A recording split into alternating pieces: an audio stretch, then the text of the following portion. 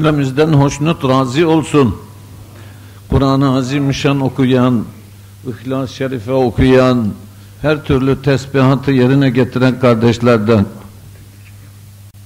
Önce misallerle söze başlayacağız.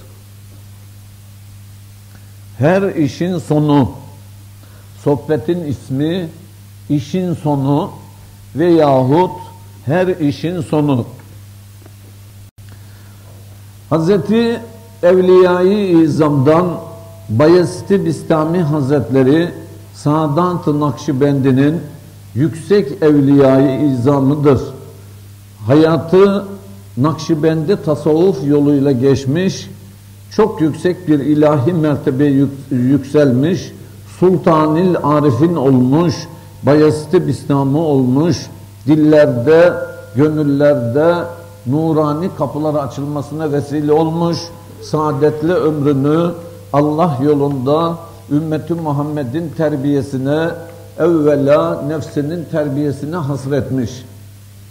Şimdi benim yapacağım sohbeti mütalaa ettiğimiz zaman, müzakere ettiğimiz zaman çok geniş bir anlayış ve kapı çıkacak. Mesuliyetlerimiz gözümüzün önüne gelecek. İnşallah. Bayezid Bistami Hazretleri şöyle buyurdu. Ben şöyle bir hüküm duydum.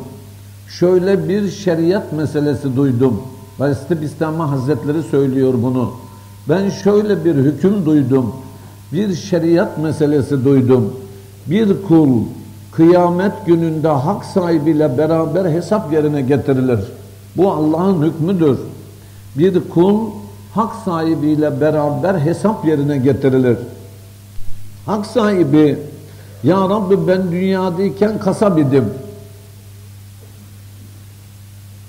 Bu şahıs, o kasabın Allah'ın huzurunda hakkını almak istediği şahıs hakkında kasap söylüyor. Bir kul kıyamet gününde hak sahibiyle beraber hesap yerine getirilir. Hak Teala Hazretlerine hak sahibi Ya Rabbi ben dünyada iken rızgımı kazanmak maksadıyla kasap idim. Şu şahıs, şu müşteri bana geldi. Satın alacağım diye bir parça etini etimi eline aldı. Hatta ette parmaklarımın izi kaldı. Sen buna şahitsin ya Rabbim. Eti tuttu, kasaptan satın alacağım diye eti evirdi, çevirdi, baktı. Kasap diyor ya Rabbim sen de buna şahitsin.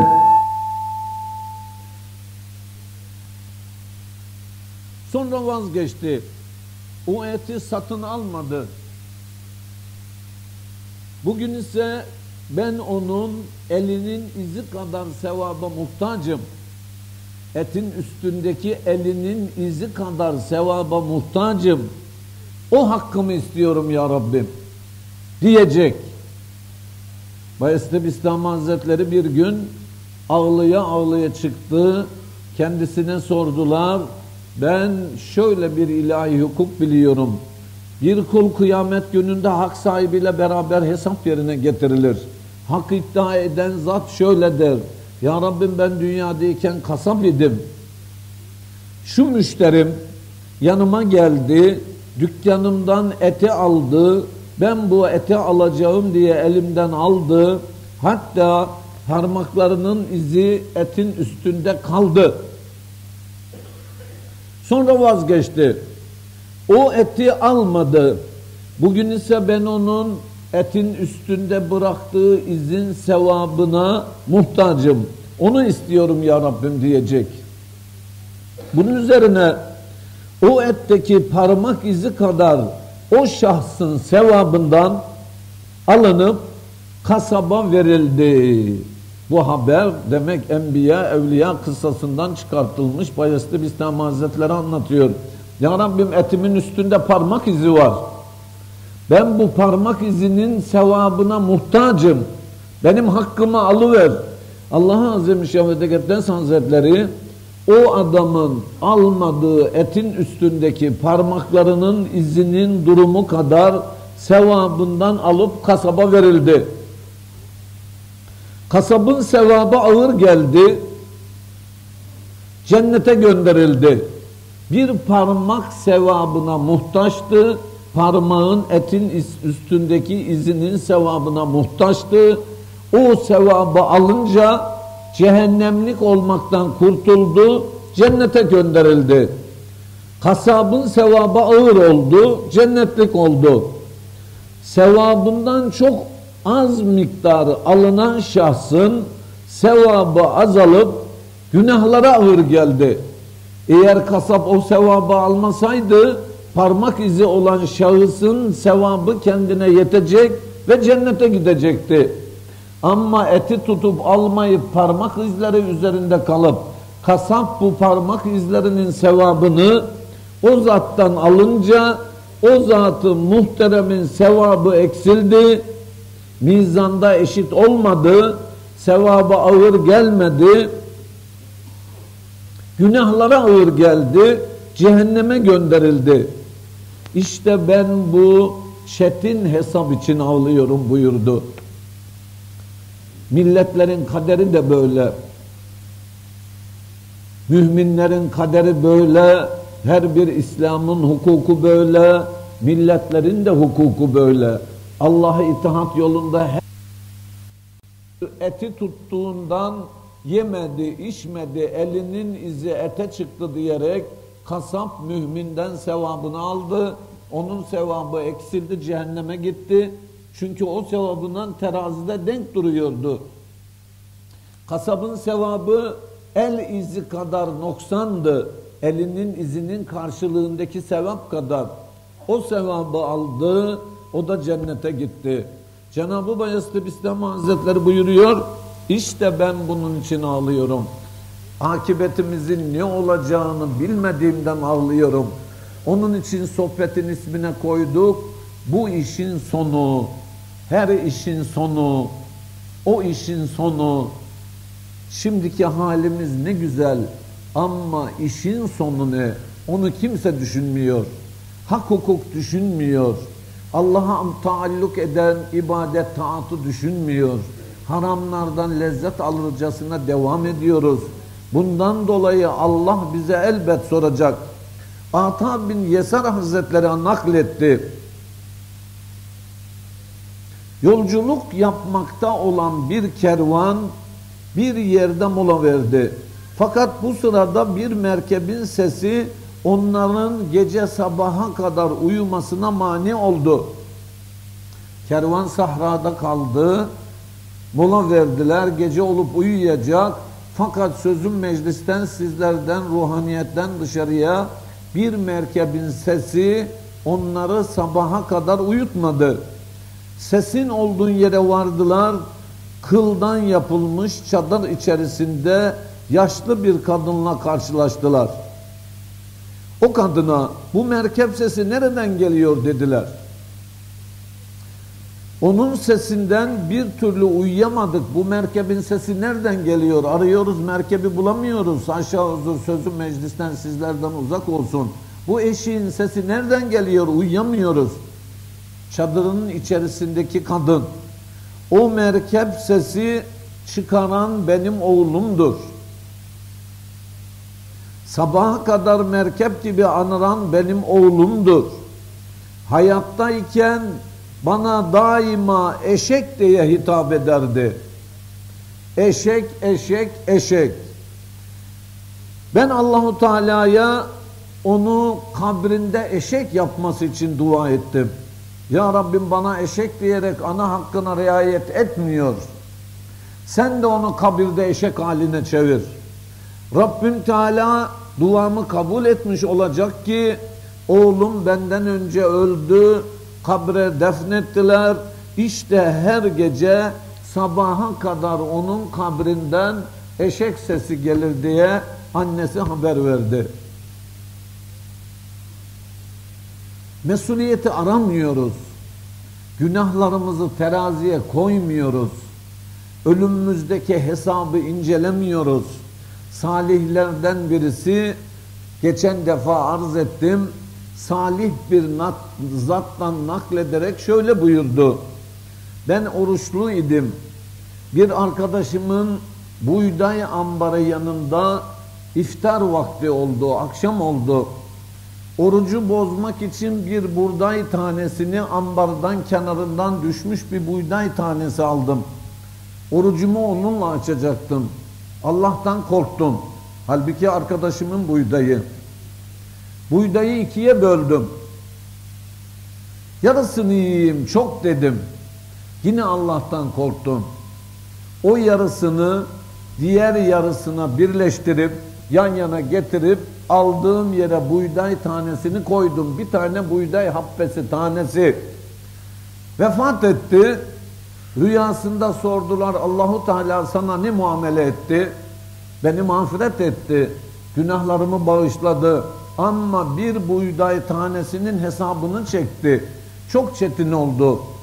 O arkadaşımdan helallaşmadığım için buğdayı neye kırıp ikiye ayırdığımın hesabını sordular ve bunun karşısındaki sevabımı alıp arkadaşıma verdiler buyurdu. Müminler yenmemiş bir buğday, yemedi bir buğday tanesini, ikiye böldü, Allah'tan korktu, yerine koydu ama kabirden bize haber verdi. O buğdayı niçin kırdı, niçin iki parça etti? Allah onun hesabını, sevabını aldı ve götürüp buğday sahibine verdi Rabbü Teala. Milletlerin işi de böyle. Allah hiçbir millete, hiçbir ferde, hiçbir kuluna zulmetmez. İnsanlar gördükleriyle hükmederler. Allah bildiğiyle adalet eder. Allah işin hakikatını bilir. Amellerimizi bilir. Niyetlerimizi bilir. Amel yapmaktaki niyetlerimizden maksadımızın ne olduğunu elbette bilir. Ve o bildiğine göre adalet eder, hak eder. Milletler gözünün gördüğü, insanlar gözünün gördüğü, aklının erdiğine göre hükmeder. Şu son meseleler gözümüzün önüne getirilirse, şu cemaat dinlense, herkesin kendine göre bir fikri, bir anlayışı, tuttuğu bir tarafı, kızdığı bir tarafı, sevdiği bir tarafı, dua ettiği bir tarafı olduğu gibi kazap edip beddua ettiği taraf da olur. Ama işin iç yüzüne, hakikatına inildikçe ince olarak Kur'an'ın hükümleri, Allah'ın ahkamının hakikatları göz önüne getirilerek müzakere ve mütalaa edip tefekkür edilirse mesele çok elim ve feci çıkar. Mesele ne siyasi bir meseledir, ne bir televizyon işidir. Bu doğrudan doğruya kullarla Allah arasında bir hukuku ilahiyedir. Bu Allah'ın bir adlidir. Bu Allah'ın bir hükmüdür. Hiçbir karınca adımını izinsiz atamaz. Hiçbir yaprak kendiliğinden yere düşemez. Hiçbir balık rızık olmadıkça başka bir balık onu yiyemez. Müminin itikadı böyledir. İşini Allah'a bırakanın işi kolay olur. İşini Allah'a bırakanın işi kolay olur. Abdülhamid Lifaf Hazretleri değirmene un öğütmek için gitmişti. Ondan sonra tarlasını sulamaya gidecekti. O günde günlerden cuma günü idi. Allah'ın itaat ve ibadetiyle günah ve isyanlar bir arada gelir. İbadet ve taat Allah'ın hükmü olarak geldiği dakikada muhakkak hissel olarak bir dünya işi de bizimle beraber gelir. Yalnız bir ibadet olarak gelmez. Öğle namazıdır, akşam namazıdır, onun yanında bir dünyevi iş de vardır. Ana hakkıdır, komşu hakkıdır, iş sahibinin hakkıdır, onun yanında bir de dünya işi vardır. Dünyayı boşaltarak yalnız ibadet etmek insan için mümkün değildir. Allah'a azimüşşan yapacağımız ibadette dünya hayatına karşı ibadet ve taattaki niyetimizi Allah'ın azametine karşı takındığımız tavrı onun kudretiyle, ilmiyle her şeyi bileceğini idrak etmemiz lazım gelir. Abdülhamid Lifaf Hazretleri Cuma günüydü. Önce değirmene buğdayını götürdü. İkinci işi değirmenden unu getirecekti. Tarlasını sulayacaktı. Tam cuma namazı geleceği sırada haşa huzur sözüm sizlerden meclisten dışarıya eşeğini de kaybetti. Cuma namazı da geldi. Eşek kayboldu. Tarla sulanacak. Sulama sırası kendine geldi. Değirmene buğdayı verdi. Un olarak alacak. Ama hakkın işi de geldi. Cuma namazı Allah'ın emriyle geldi. Müzakere etti. Düşündü. Ahiret işi dünya işinden önce gelir. Çünkü dünya nasıl olsa bitmez. Ama ahiret hükmünün bir vakti vardır, geçer. Bir o geçen vaktin içindeki hakkı bir daha geriye almak mümkün değildir. Ama kaybolan eşeği o gün aramazsan ertesi gün arayabilirsin. Değirmendeki unu bugün getiremezsen yarın getirebilirsin. Ama bugünkü cuma namazını bırakırsan o günkü cuma namazını bir daha kılamazsın. Onun vebali, hesabı Allahu Teala razı olsun kendisinin üzerinde kalır. Cuma namazını kıldı, evine geldi, baktı ki sözüm sizlerden ruhaniyetten dışarı merkebi eşeği ağır da bağlı. Hanımına cuma namazı farz olmadığı için hamur yoğurmuş, börek çörek ekmek yapmış sofrada. Tarlaya vardı sulanmış. Hayret içinde kaldı. Dedi ya Rabbim ben cuma namazını gittim ama bunların her birisi benim üstümde duruyordu. Bu nasıl oldu? Hanımı şöyle anlattı. Bir ara ben dışarıda bir gürültü duydum. Dışarıya çıktım baktım aslanın birisi bizim eşeği kovalıyor. Kapıyı ahırın kapısını açtım. Merkebi içeriye koydum. Hemen kapıyı kapattım. Aslanın te te tehlikesinden kurtuldum. Komşu un getirmeye gitmiş. Kendisininkini getireceğim diye yanlışlıkla bizim çuvalı getirmiş. Bakmış ki çuval bizim çuval komşu ben yanlış getirdim ununuzu al diye komşu unu verdi. Tarla sulamaya gelince Cuma'ya gitmeyen tarlanın sahibi şimdi hak bende sulama sırası bende diye Cuma'ya gitmeyen tarlayı sulamaktaki hak sahibi uyumuş. Tarlaya giren su tarla arklarından taşmış bizim bitişik tarlayı sulamış. İşte böyle. Abdülhamid Lifaf Hazretleri dedi, demek ki Allah'a tevekkül etmek lazım. İşi onun işini görmek lazım. Kim azameti ilahi bilirse her bir işi Allah yerine getirir. Elini açtı, Ya Rabbi ben senin bir emrini yerine getirdim sen benim üç ihtiyacımı, işimi halas ettin, necat verdin, sen de üç işimi bitirdin. Ben senin bir emrini yaptım, sen benim üç işimi bitirdin. Kıymetli müminler, bütün mesele Allahu Teala razı olsun. Allah'a azimşanın hukukuna riayetten doğar. Allah hazır nazırdır. Muzafferiyet ve muvaffakiyet Allah'ın kudreti elindedir. Müminlerin elbet duası lazımdır. Müminlerin duası elbet geçer. Ama Allah'a itaat derecesinde geçer. Kıymetli müminler, Allah'a azimüşşan hepimizden hoşnut razı olsun. Bir misalde bundan vermek isterim. Evliyayı izamdan, sohbetimi dinlerseniz çok mesele öğreneceğiz. Evliyayı İzam'dan Ebul Fazıl Ahmedi Hazretleri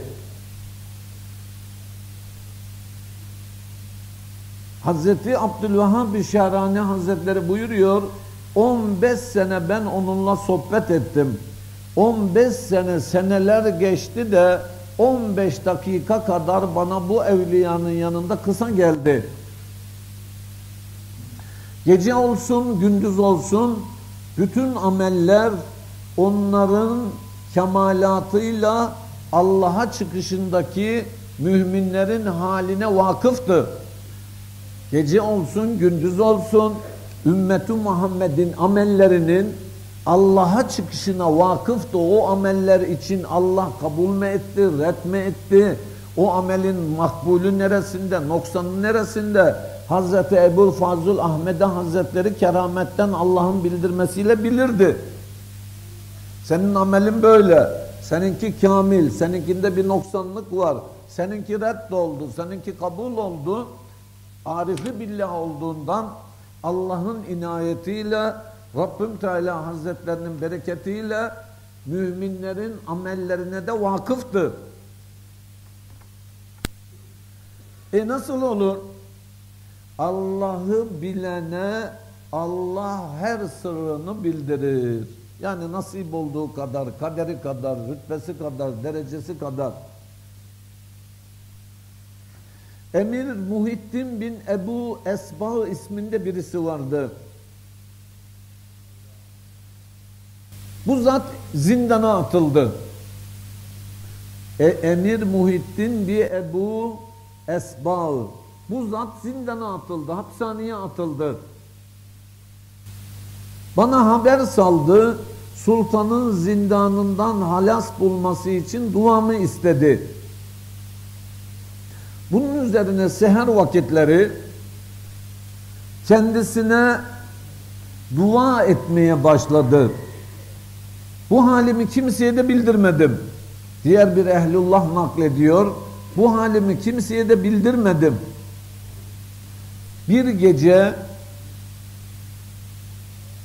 Emir Muhittin bir Ebu Esbah Hazretlerinin tanıdığı bir evliya kendisinin zindandan çıkarılması için dua ediyordu.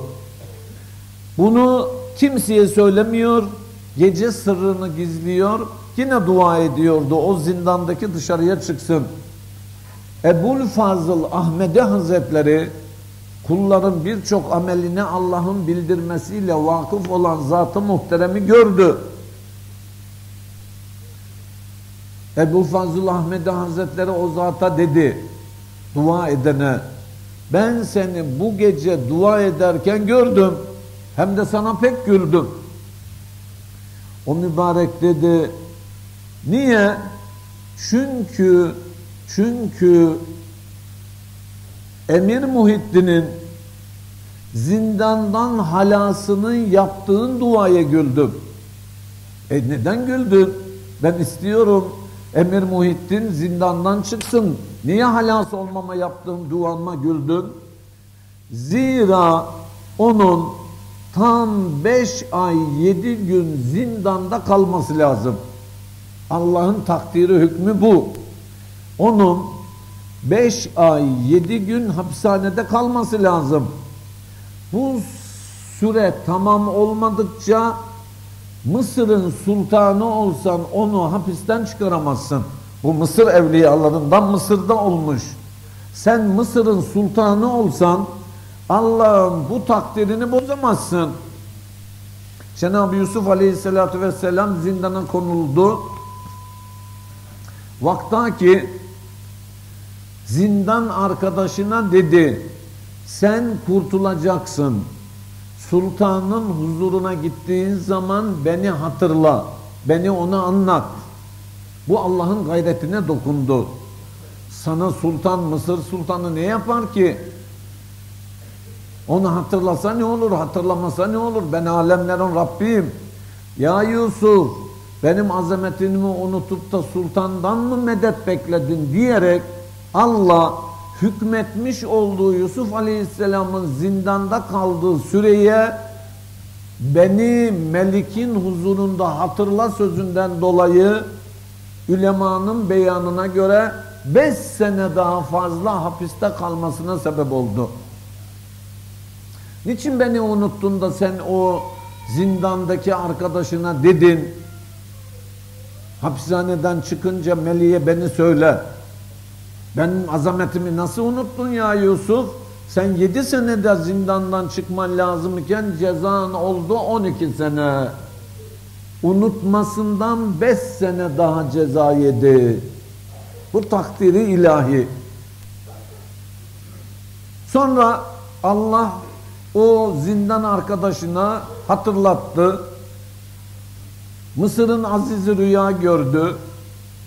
Rüyayı zindanda Yusuf isminde çok münevver bir kamil zat var. O yorar diye aklına geldi.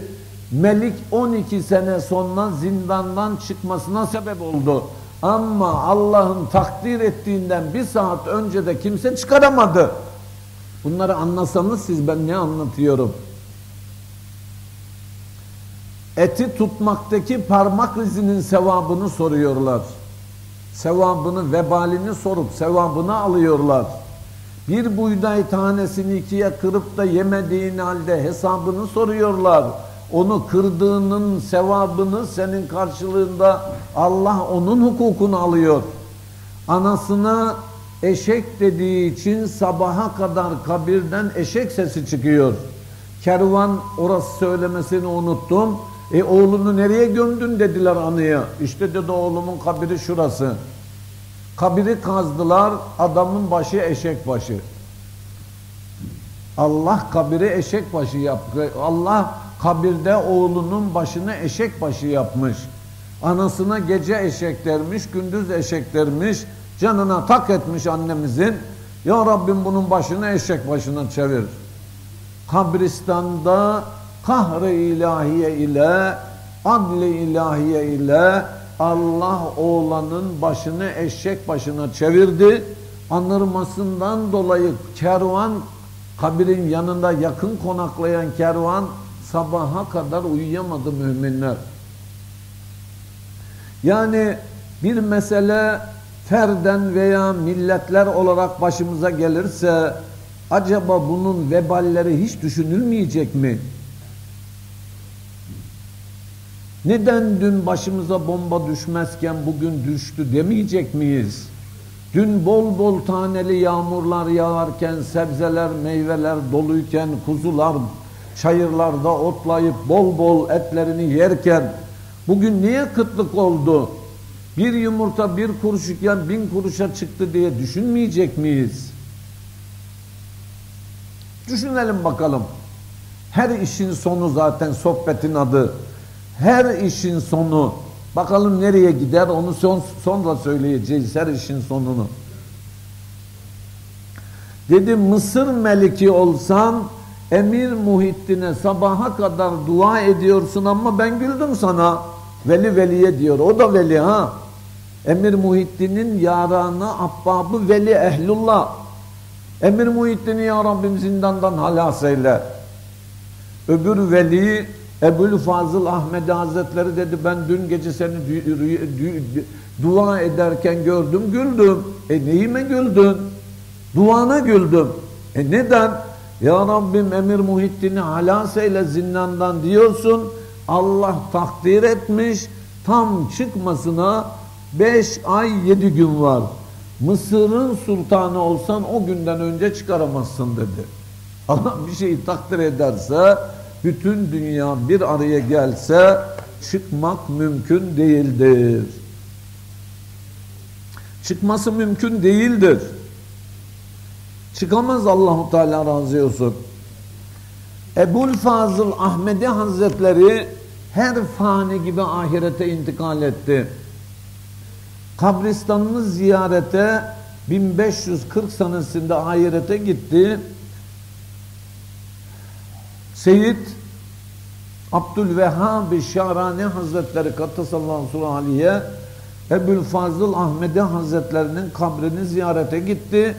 Nereye defnedildiğini bilmiyordu. Kabre girdi. Kabir nerede bilmiyor. Ben dedim ki diyor Abdülvehhab Şahrani Kübra 4. cilt müellifi Seyyid Abdülvehhab Şahrani Hazretleri. Kabristana girdim ben dedim ki diyor Allah aşkına Resulullah'ın hatırına nerede yatıyorsan bana haber ver seni bulayım. Kabirden diyor ses geldi Ebul Fazıl Ahmet Hazretlerinden. Gel gel ben burada yatıyorum. Gittim bizzat diyor kabrini buldum. Muhteremler bunlar Allah'a Azimüşşan'ın dostları. Peki lan bu dostlar benim gibi senin gibi kıymetliler mümin değil mi? Senin gibi benim gibi Allahu Teala razı olsun. Müslüman değil mi? Neden dolayı bu işler başımıza geliyor biz aradığımız halde bu kemalatı bulamıyoruz? Neden? Çünkü itaatlere tam rağm etmiyoruz. Haramlardan tam iştinab edip kaçınmıyoruz. Bir sürü afetler etrafımızı çevirmiş, kul olarak, cemaat olarak o afetlerden kurtulamıyoruz. Onun için de Allah'a azimüşşan bizden ferden veya toplum olarak intikamını alıyor, cezamızı veriyor adli ilahiye ile. Evliyayı izam her bir meselede olduğu gibi pek çok hikmetli meselelerde dahi Allahu Teala razı olsun bize haber vermişler. Evliyayı izamdan Ali Havas Berlisi Hazretleri buyuruyor ki insanın vücudu ibadet ve taatla çevrili olarak nur olarak halk olundu, nurani olarak vazife verildi, akılla mücehez kılındı. Ama ama itaatsizlikle o nurani yol o nurani yol kapandı afetler aklımızı cesedimizi çevirdi kıymetler her bir şeyin kemalatının bir sebebi olduğu gibi helakımızın, ziyanımızın, azabının da bir maddi sebebi vardır. Allah her bir azamızı bir kutsi vazife için halk etmiştir. Ferden böyle olduğumuz gibi millet olarak da bu vazifeyi kutsiyi yüklenmişiz. Bu vazifeyi ilahi müdrik olmuşuz. Böyle buyuruyor. Allah akıllı verdi ibadet ve taat için, vacibil vücut hazretlerini tanıyıp bilmek için, şeriatı ilahiyesinin hikmet ve hakikatlarını bulmak için ama aklın afeti daimi ve yersiz bir çekişme içinde bulunmasıdır. Allah itaat için aklı verdi, şeriata yapışmak için verdi, hakikatları bulmak için, günahlardan kaçmak için akıla halk etti. Halbuki insan böyle yaratılmış olmasına rağmen daimi yersiz bir çekişme içinde aklını tuttu.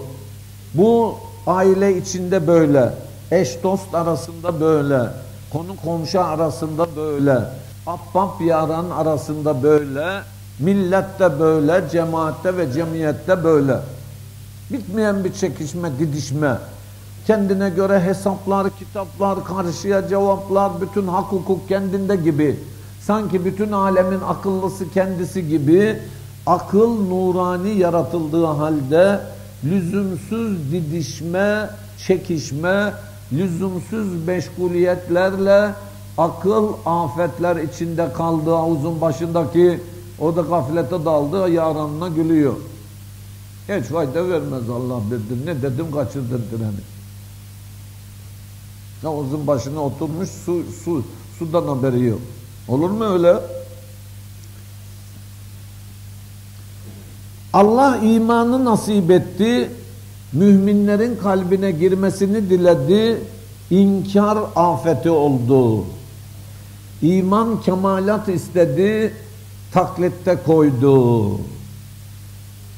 Allah İslam'ı nasip etti bütün insanlara, çeşitli sebeplere dayanarak İslam'a düşman oldu. Kimi cemaatler, kimi fertler, kimisi İslam'ı anlamadı, hakkıyla amel etmedi.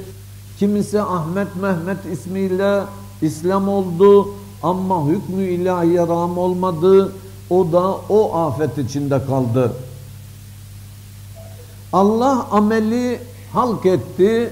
insanın necatına, kurtuluşuna sebep olsun. Ameli salih bineği olsun. Kabirde kıyamete kadar nurani arkadaşı olsun. Ahirette sur üflenince üstüne amelinin binsin. O amelle cennete girsin. Allah ameli yarattı. Bunun karşında insanoğlu afet olarak tem, nefsani lezzetleri ve tembelliği seçti. Nefsani lezzetlerle, tembellikle ameli salihleri geçirir. Türlü türlü meselelerin başında oturur, bir saat, iki saat harp dolayısıyla haberlerden televizyona bakarız, üç saat, dört saat bir yüz kulhü, yüz selatı selam getirmeyiz.